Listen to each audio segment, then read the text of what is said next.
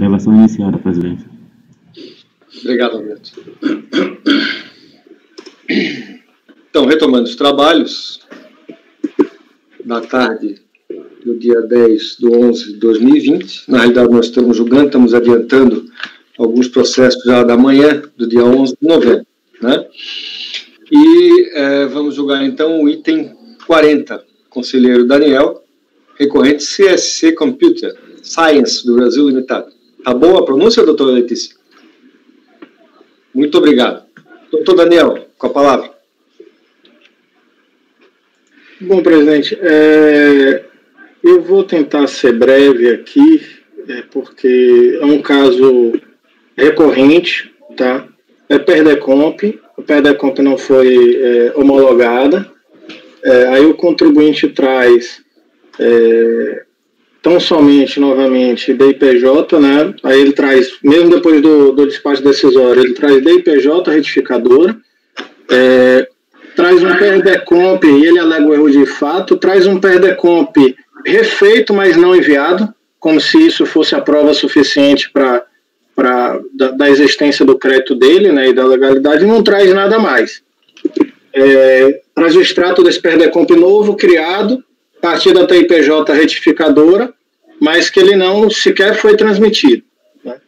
É, então, aquele, aquela típica decisão em que a DRJ explica o que falta, explica que falta a comprovação, que ele não traz a documentação contábil pertinente, é, a, a, a, DRJ dá o caminho certinho, dizendo o que é que você precisa apresentar para comprovar isso em termos de documentação, e o contribuinte simplesmente repete a, a impugnação, não trazendo nada novo e não seguindo o caminho aí traçado pela DRJ. Né? Então, vou poupar vocês aqui, porque aquela decisão é, é clássica minha e, e, da turma como um todo, da questão do ônus da prova, né, quanto à questão do, do direito creditório, né, que, que o crédito ele tem que ser comprovado através de documentação idônea e hábil, que o contribuinte não trouxe, que a DIPJ por si só ela não é suficiente para comprovar, quanto mais uma perda é, refeita, mas não transmitida, que não tem um efeito aí de confissão de dívida também, né? Então, eu vou dentro dessa linha da, do ônus probatório e estou mantendo a decisão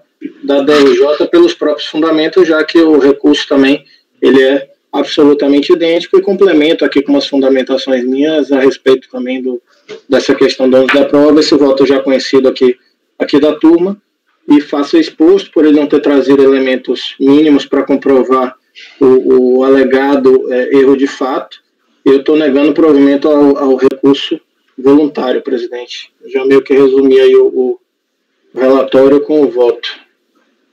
Muito bem. Tem dois Nelson Kish na, na tela agora? Tem. Nelson está aparecendo em duas telas, Nelson? Acho que um está bloqueado, vou expulsar ele. Tá bloqueado. Ah, um está tá travado, é verdade.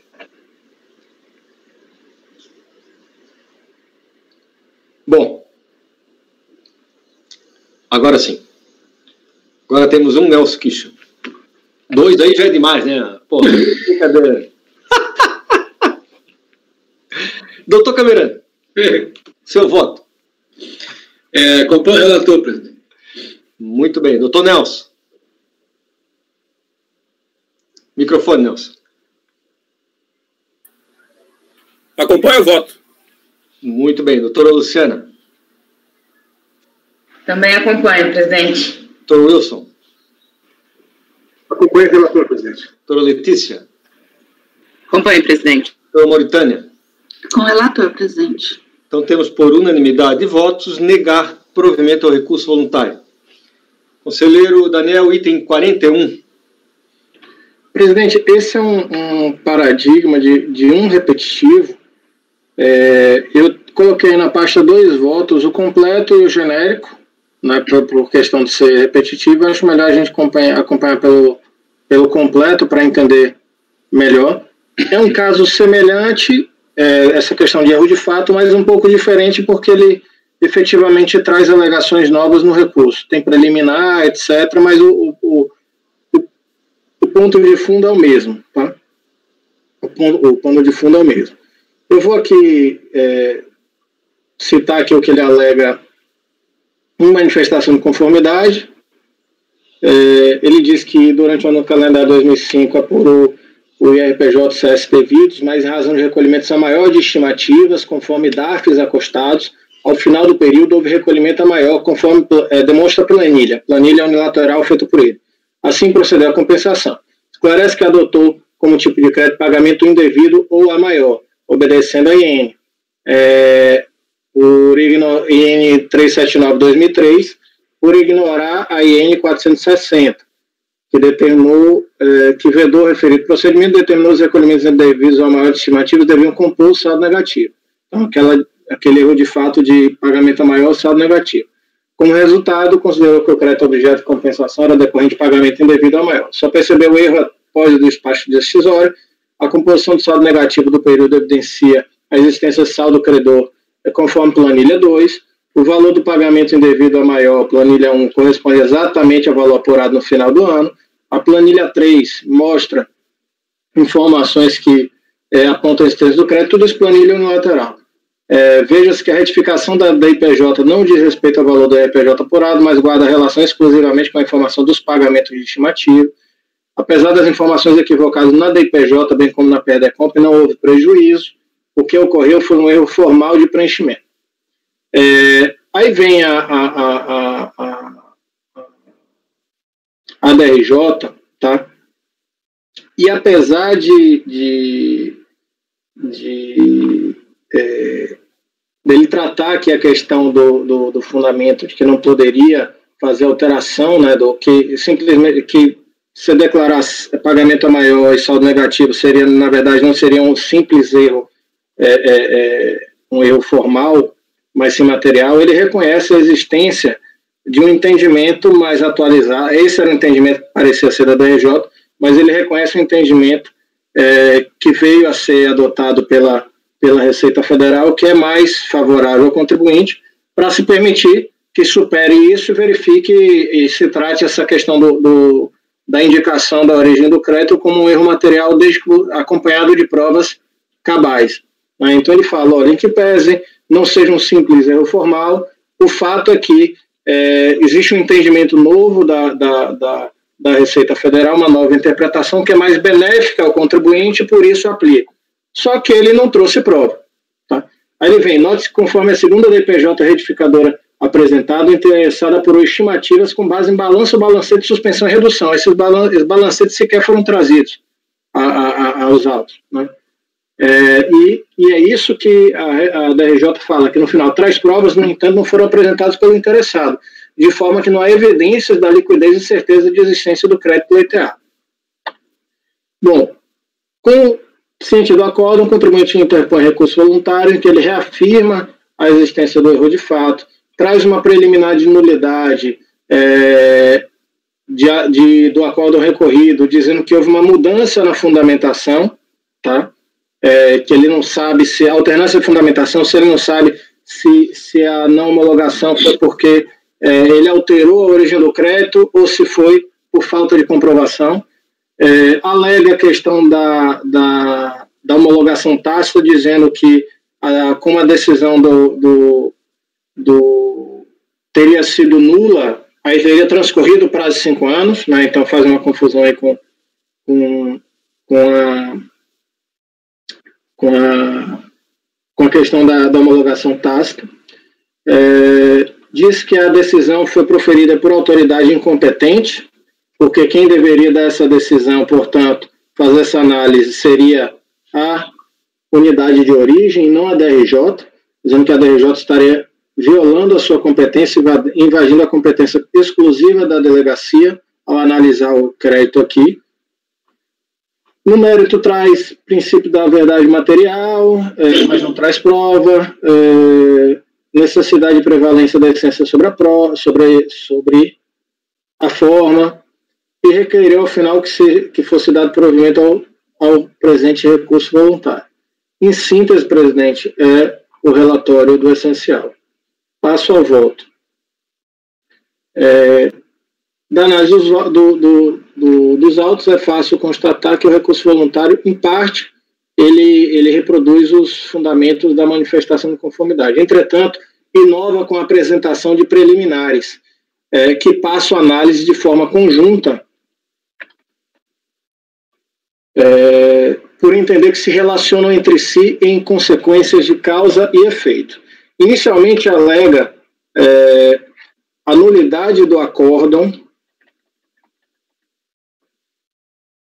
recorrido ante a alegada alternância de fundamentação. Aduz que, quando analisado a fundo a alteração de fundamento, o absurdo da decisão se torna ainda mais patente. Isto porque, para manter a não homologação da compensação, a referida decisão recorrida se resume a sustentar inexistirem provas da exatidão da apuração da CCL paga indevidamente ou maior que sustentaria a comprovação. Ora, ora fala de retificação da DPJ, sem dizer se essa retificação foi ou não homologada, ora fala de retificação de decomp sem nunca ter a decomp sido retificada. Por sua vez, como consequência da nulidade da decisão recorrida e a suposta nova fundamentação, já teria transcorrido o prazo de cinco anos para homologação tácita, ou seja, entre a, a decisão da, da, da DRJ. Por último, por entender que a DRJ proferiu decisão originária, defende a nulidade da decisão por se tratar de autoridade incompetente. Entendo não assistir razão recorrente. A decisão recorrida não inova ou alterna fundamentações, tão somente faz um histórico do tratamento legislativo dado à Perdecomp, concluindo que o contribuinte não logrou, não logrou êxito em comprovar o erro de fato alegado, carecendo crédito, certeza e liquidez. É, isto porque houve mudança de entendimento pela Receita Federal mais benéfica ao contribuinte. Isso é especialmente compreendido nos seguintes trechos. Aí trago aqui os trechos da, da, da decisão da DRJ. É, como a IN 900 não trouxe mais tal vedação, a Receita Federal conclui, concluiu que houve revogação tácita da vedação, de alteração da origem do crédito, devendo, portanto, prevalecer a interpretação de que é permitido o pleito de restituição ou compensação de débito tributário a partir do pagamento indevido ao maior das estimativas. Por se tratar de interpretação mais benéfica para o contribuinte por parte da administração, cabe aplicá-la retroativamente aos feitos ainda não definitivamente julgados. Portanto, nada impede a restituição ou compensação de valores de estimativas recolhidos indevidamente ou maior do que os devidos, de forma que o motivo que fundamentou o despacho decisório não é mais aplicável, apesar de que era aplicável no momento do, do despacho decisório.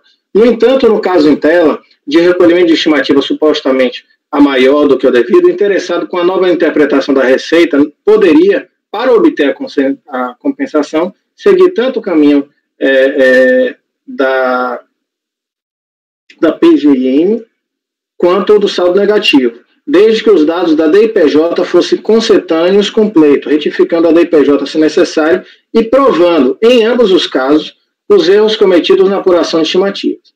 Note-se que, conforme a segunda DIPJ retificadora apresentada, o interessado apurou estimativas com base em balanço, balancete de suspensão e redução, em todos os meses do ano, exceto em setembro, quando apurou estimativa com base em receita bruta e acréscimo. Portanto, a prova documental deve ser apresentada juntamente com manifestação de conformidade, precluindo o direito do recorrente fazê-lo em outro momento processual, sendo o ônus do interessado é, juntar os altos elementos de prova que possui. Eu não, não concordo totalmente com essa fundamentação, porque eu acho que nesse diálogo de prova ele poderia trazer essas, esses documentos agora, mas o fato é que ele continua sem trazer nada, tá? nenhum documento comprobatório.